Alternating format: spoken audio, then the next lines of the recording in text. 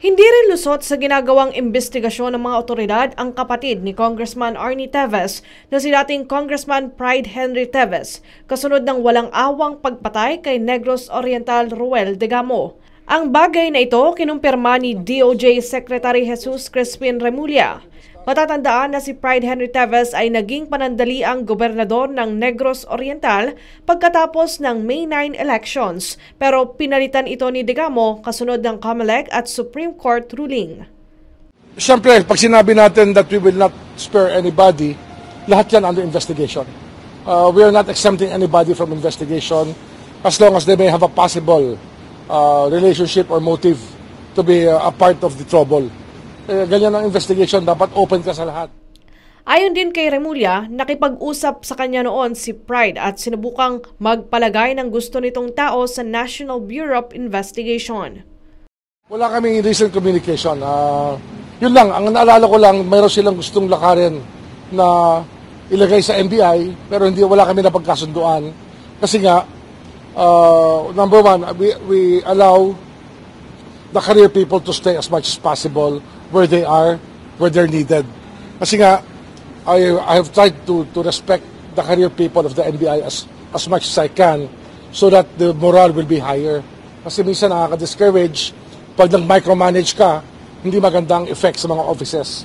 Only in extreme cases do we really micromanage offices pag may problema talaga. Sir, clarify lang, gusto nilang papalitan.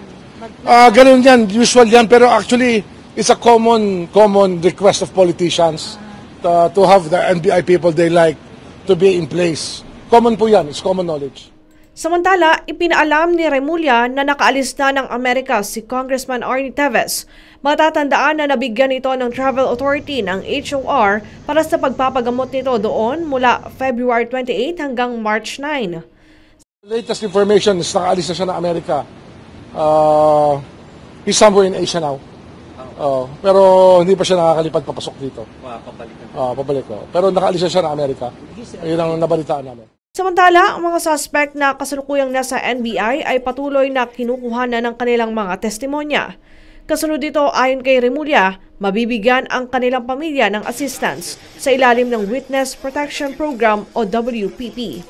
Kung kasama ang mga suspect na mabibigyan ng WPP benefits, ito ang naging sagot ng kalihim.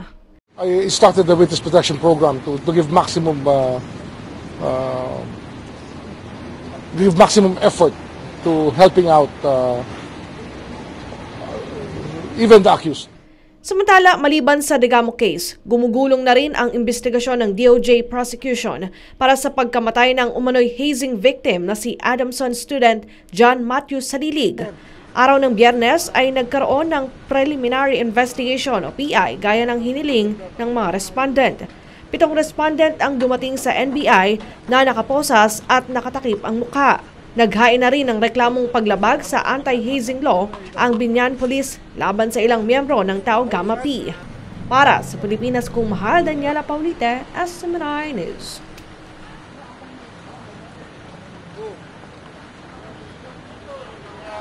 lado.